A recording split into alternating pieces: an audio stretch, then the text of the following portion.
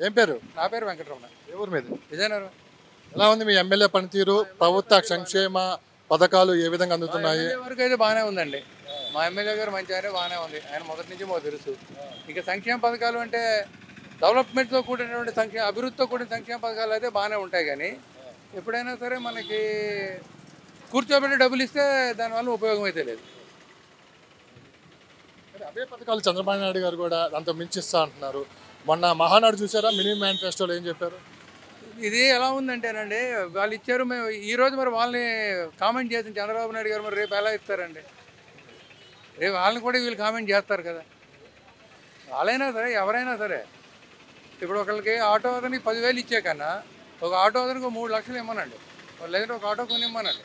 ఇచ్చిన నెలకి ఐదు వేల రూపాయలు నువ్వు గవర్నమెంట్కి ఖచ్చితంగా పే పే చేయు. నువ్వు వన్ ఇయర్ పే చేస్తే మిగతా అమౌంట్ నీకు సబ్సిడీ కింద విడిచిపెట్టేస్తామంటే అది ఉపయోగం. అది సంక్షేమమే కదా. వాడికి ఫ్యామిలీ నిలబడుతుంది లైఫ్ లాంగ్. అది పథకాల మీద మీ అభిప్రాయం ఏంటి? పథకాల గురించి నేను చెప్పలేనండి. ఎందుకంటే మేము ఏ విధంగానూ లబ్ధిదారులం కాదు కాబట్టి మేము చెప్పలేం. సో మీ అభిప్రాయం. లబ్ధిదారులు కానప్పుడు నాకు ఎందుకు చెప్పండి సార్?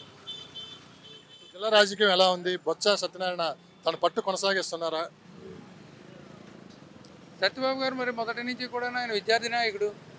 విద్యార్థి దశ నుంచి ఆయన నాయకుడు అయ్యాడు. ఎంఆర్ కాలేజీలో ఇదే ఎంఆర్ కాలేజీలో ఆయన ప్రెసిడెంట్గా చేశాడు. మేము మేము కాలేజీలో చదువుకున్న రోజుల్లో? మరి విద్యార్థి నాయకుడు అదే అదే పద్ధతి ఇప్పటికీ కూడా ఆయనకి అదే రాజకీయ పట్టు కలిగి కొనసాగుతుంది. ముఖ్యంగా ఏం ఏంటంటే మాకు రాజుగారి అశోక్ గజపతి రాజు గారి కుటుంబం నుంచి ఇంకా మగపిల్లలు ఎవరూ లేకపోవడం వాళ్ళు కూడా యాక్టివేషన్ లేకపోవడం నుంచి ప్రాబ్లం.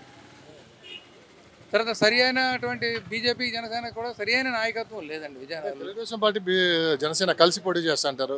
జిల్లాలో ఎంతవరకు దాని ఇంపాక్ట్ అయితే అంత గుర్తింపే లేదండి. ఇక్కడ జనసేనకి అంత గుర్తింపు కలిగిన నాయకులు అయితే జనసేనకి లేదు. ప్రజల్లో ఉండాలి. ప్రజా కార్యక్రమాలు చేయాలి. రాజధానిపై మీ అభిప్రాయం? రాజధాని మీద ఏం చెప్తామండి? రాజధాని లేదు మనకి. మనకి రాజధాని రేపు వచ్చిన తర్వాత అప్పుడు చూద్దాం. ఒకవేళ విశాఖపట్నమే రాజధాని అనుకుంటే ఫుల్ ఫ్లెడ్జెడ్గా విశాఖపట్నంలోనే డెవలప్ చేయాలి. కొన్ని గవర్నమెంట్ ఫ్యాక్టరీస్ అంటే ప్రభుత్వ భవనాలు ఏవైతే ముందు ఖాళీ ఉన్నాయో వాటిని గుర్తించి వాటిని ప్రభుత్వ కార్యాలయాలుగా ఏర్పాటు చేసుకొని రాజధాని ఎక్కడైనా పెట్టవచ్చు ఎక్కడైనా పెట్టుకుంటే మంచిది. సో ఈసారి జిల్లాలో వైఎస్ఆర్సీపీ తెలుగుదేశం పార్టీ గట్టి పోటీ ఉంది అంటున్నారు జిల్లా మొత్తం మీద ఈసారి ఎవరికి ఎక్కువ సీట్లు బట్టి ఉంటుంది సార్ విజయనగరంలో మాత్రం.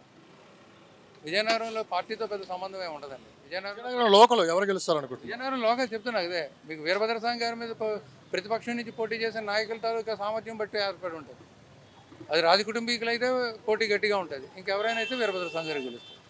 సంక్షే సంక్షేమాలు ఓట్లు తెచ్చి పెడతాయా అదేం లేదు సార్. ఇక్కడ పూర్తిగా వ్యక్తిగా వ్యక్తి ఆదరణ విజయనగరం మాత్రం.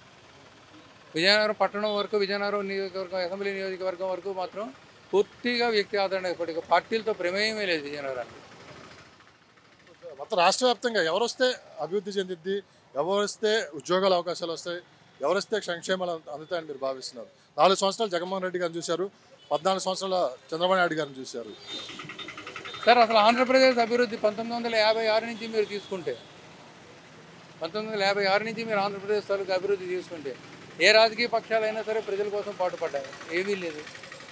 ఎవరైనా సరే వాళ్ళ కోసమే పాటుపడ్డారు. ఒక్క ఆ ఎన్టీ రామారావు గారి పీరియడ్లోని మాత్రమే ఆ ఎనభై రెండు ఎనభై మూడు ఆ ప్రాంతంలోనే ఏవో కొన్ని ప్రభుత్వ ఉద్యోగాలు ఖాళీలు ఉన్నవన్నీ పూరించారు తప్ప మిగతా ఎప్పుడు కూడా ఏమీ లేదు.